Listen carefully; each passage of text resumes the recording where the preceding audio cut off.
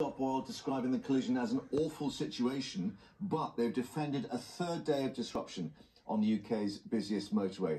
Let's get more now. Our national reporter Theo Chikomba, who's Right. us live from the motorway. These idiot protesters need to be locked up for a very, very long time. Right, so somebody's been seriously injured here today, and this is what we've been saying. They're a bunch of bloody idiots.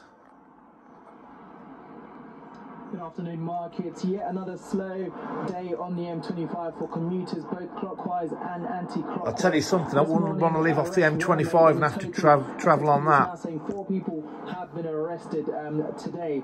And this is just another update as well from the Met Police. They're saying three people have pleaded guilty to causing public nuisance following serious disruption to motorists on the M25. Now, we've heard from Just um, Stop Oil spokespeople on Look the at ground the idiots.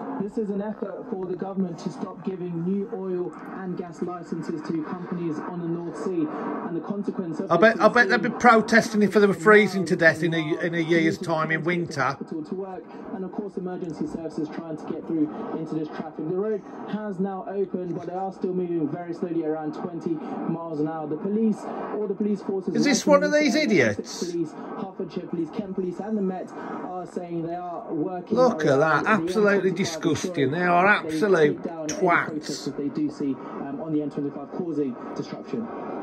Is there any indication here that Just Stop Oil are reconsidering after this incident where this police officer was injured? Lock them up for a very long time. Good question. At the moment, no. Um, we heard a guest in the last hour or so saying this is going to continue. They want to keep this going until the government makes a decision that they would like in their favour to stop giving these licenses.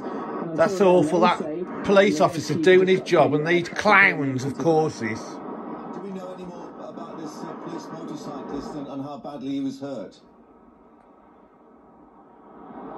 At the moment, there hasn't been an official statement. All we do know is that there have been four arrests made in the last hour. An update from the police, but hopefully we'll get some more information on the injured police officer. Okay, great. Theo, thank you for the moment. Back to you, of course, as we get more on that uh, changing situation. Thanks very much indeed.